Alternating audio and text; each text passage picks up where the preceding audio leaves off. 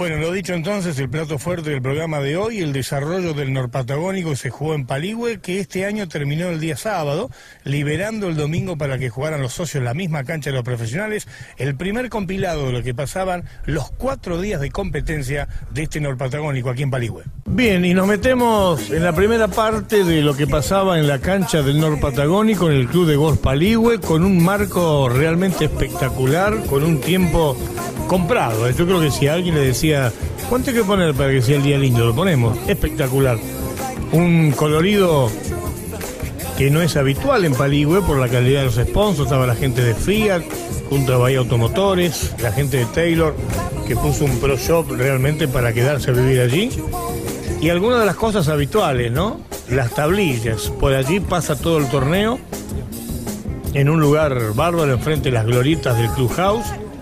Allí se vivió y el leaderboard que acompañaba a los principales. Fíjense que ya ahí Emilio Domínguez figuraba en el arranque del domingo.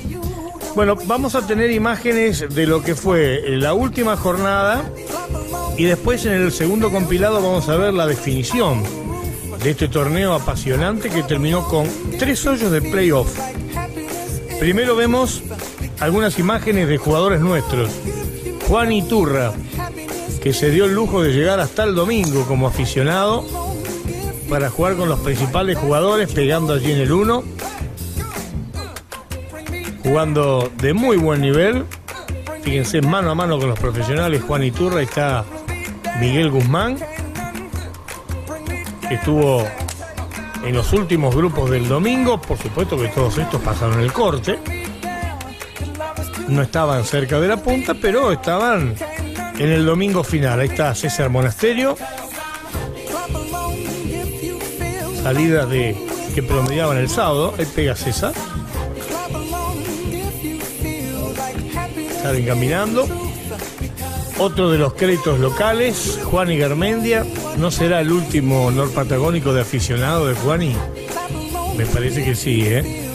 Ya no está Bonjour como aficionado, que lo vamos a ver en un ratito. Me parece que le quedan pocos torneos como aficionado a Juani, que tuvo una muy buena performance y que trató de estar cerca de Matías Imaski, el mejor scratch, que lo vamos a ver luego en la entrega de premios. Con ellos también un clásico jugador de este nivel, que siempre viene a Bahía Blanca, hablamos de Daniel Altamirano,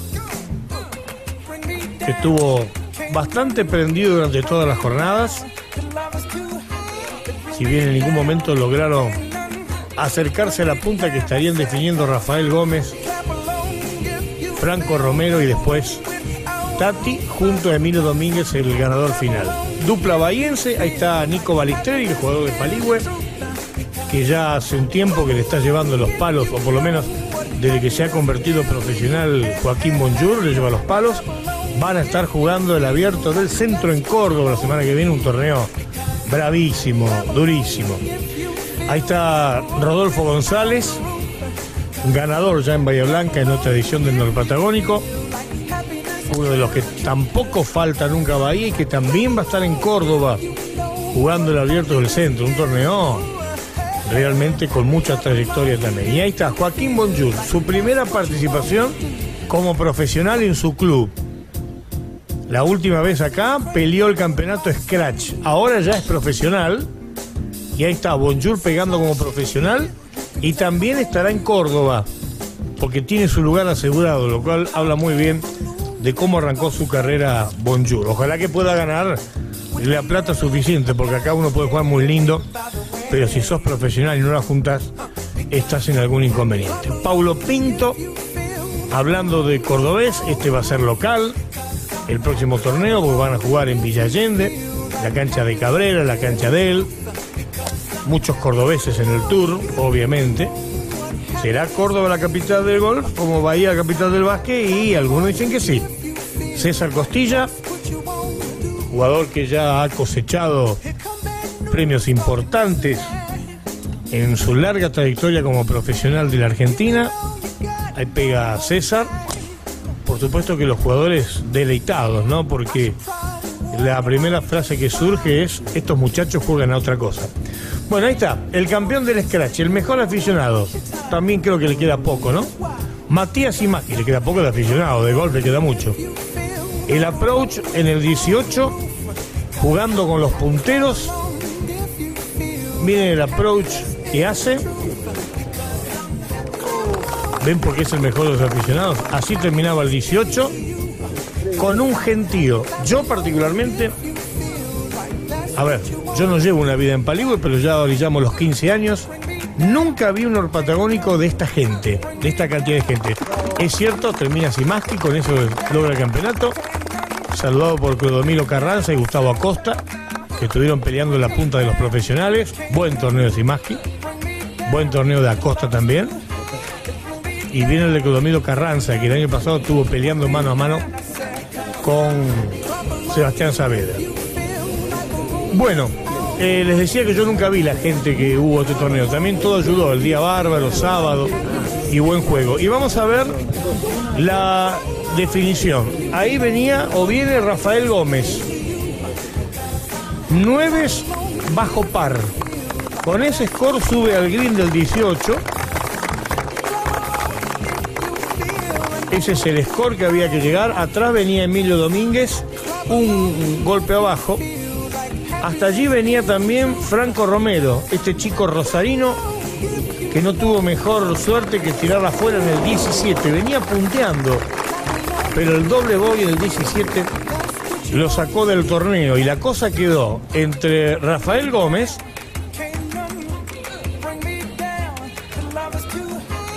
y Emilio Domínguez, que viene en el hoyo de atrás. Nueve bajo par para Gómez.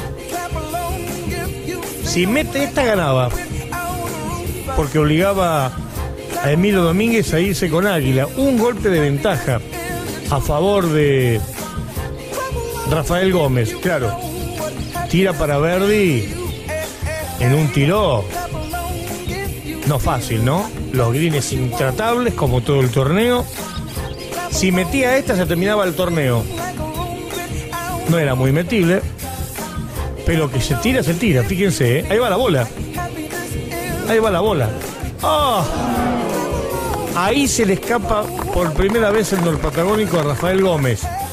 Porque metiendo ponía dos golpes de ventaja con Emilio Domínguez, que estaba 8 bajo el par y venía atrás. Termina con par. También Franquito Romero, miren la cara, ¿no? Cara de tirarla fuera el 17, pobre. Y si mete esta, sella el 9 menos. Ahí está. Final para Rafael Gómez, 9 menos. Decir que termina Barbetti, que también peleó hasta el final. Había que esperar a Emilio Domínguez. Emilio Domínguez venía 8 bajo el par, así que tenía que hacer Verdi. Decididamente tenía que hacer Verdi. No le quedaba otra que jugar un segundo tiro. Ahí va Rafael a cerrar la tarjeta y a esperar. Domínguez pega y se va a la banca. Estos jugadores suben con dos tiros en los par 5. De hecho, que cuando vean los desempates se van a dar cuenta que los tiros casi llegaban, pero este no. Si bien estaba con dos tiros, pero en la banca. Y también es cierto que estos profesionales en las bancas se manejan muy bien. Lamentablemente, Tati Carballo va a terminar el 18, pero ya estaba fuera del torneo. Tati no pudo reponerse del doble bogey del 9. Es más, cometió algún bogey más. Y faltando una vuelta o media vuelta, y lamentablemente fue afuera para el torneo. Bueno, ahí está, es el tiro del torneo y bueno, la tiene que dejar dada, tiene que hacer Verdi. Acaba de tirar su tercer tiro Domínguez desde la banca. Fíjense lo que resuelve. Ahí va la bola. El aplauso de la gente. No está dada, ¿eh? Atención, no está dada, pero uno calcula que la adrenalina. Si mete, hay playoff. Si no mete, Rafael Gómez hubiera sido el campeón del Norpatagónico. Primero va a terminar Tati, que ya está fuera de la competencia, no peleaba por el título, así todo se le cae un poco. Creo que Tati va a terminar para dejarlo que termine Domínguez, el único que podía pelear un lugar en el campeonato. Con ellos Mauricio Molina, que también se había retirado ya de la lucha del torneo algunos años atrás. Final para Tati ante su gente, por supuesto ovacionado Tati, pero con el sabor de que se le escapó la victoria. Y acá empieza la definición. Si mete playoff, si no mete, será campeón Rafael Gómez. Uno diría, bueno, claro, con el día del lunes no hay duda que la metió, pero ¿era metible? ¿Era metible? Yo creo que sí, para un profesional sí. ¿La va a meter? Sí, la metió. Enseguida les mostramos en todo gol los tres hoyos del playoff entre Domínguez y Gómez. Antes de volver con las imágenes de lo que pasaba en el Patagónico en Paligüe, les recuerdo que el próximo fin de semana vuelve la actividad de la federación. Se va a jugar una nueva fecha del circuito de mayores en el Golf de Tres Arroyos. Por supuesto, allí estarán las cámaras de todo golf, volviendo con la actividad federativa. Vamos a Paligüe, la definición, la segunda parte del norpatagónico de profesionales en forma exclusiva a través de todo golf, así se definía el norpatagónico este año. Bien, vamos a lo prometido entonces, la definición, los tres hoyos de playoff entre Emilio Domínguez y Rafael Gómez. Ya pegaron los dos. En la salida había quedado mucho mejor del drive Emilio Domínguez, que llegó prácticamente al collar, no llegó a subir, se tiró obviamente Rafael Gómez le había salido muy a la derecha, allá atrás, en los árboles, así que le quedó un segundo tiro, no buena, pero no mucho más. Fíjense el approach. Uno parecía que Domínguez estaba con ventaja, ¿no? El approach de Gómez como diciendo, me vas a tener que ganar con Verdi. Hasta allí había llegado Domínguez. Un approach en el collar Ahí va el toque.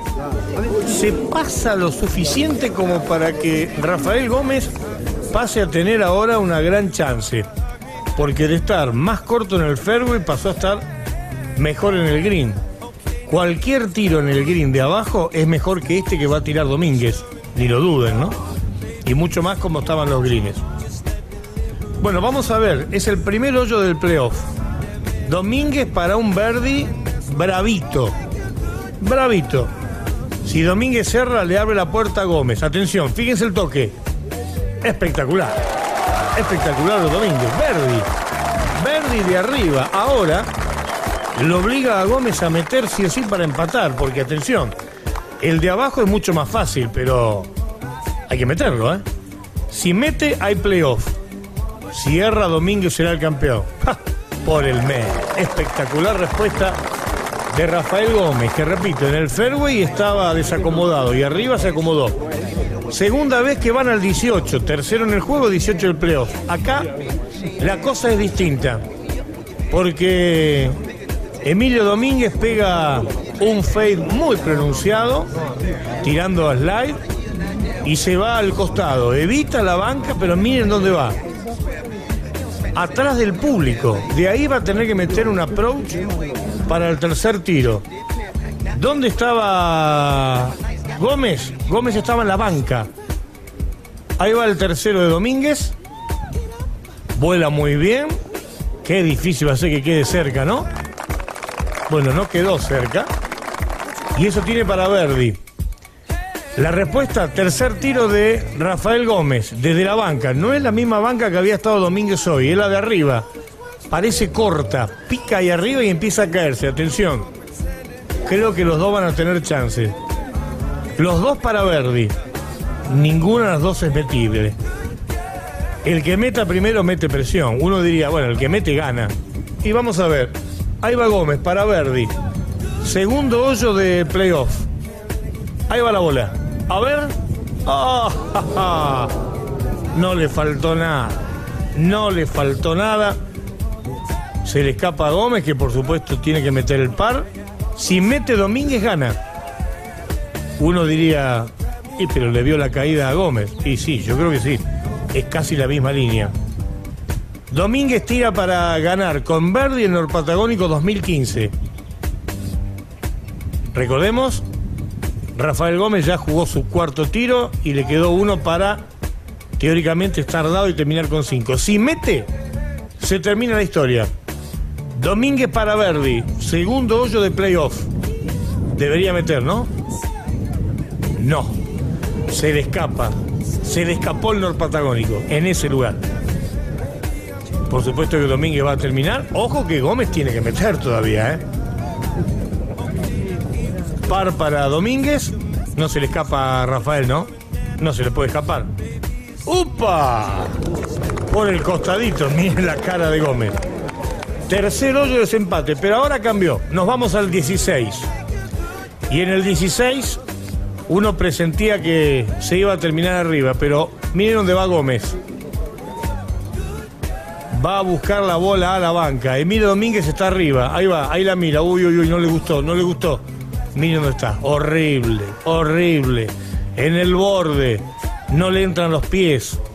Segundo tiro para Rafael Gómez. La pelota sale loca. No va a parar.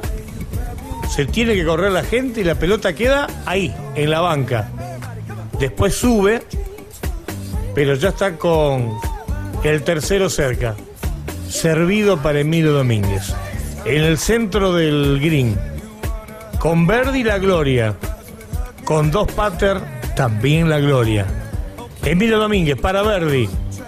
Rafael está con tres. Ahí va el Verdi. Qué cerquita le queda. ¿Se terminó, señores? Sí, se terminó.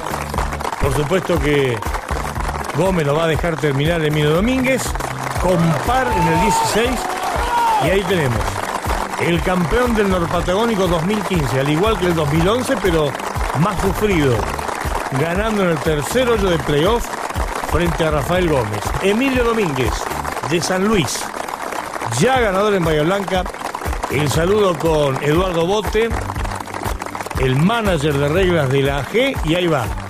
Emilio Domínguez, flamante campeón del Norpatagónico, hasta se da el lujo de regalarle la bola que la va a recibir Nico Balistreri. Felicitaciones. Pausa comercial y enseguida volvemos con más Norpatagónico desde aquí de Parigua, un día fantástico para jugar golf.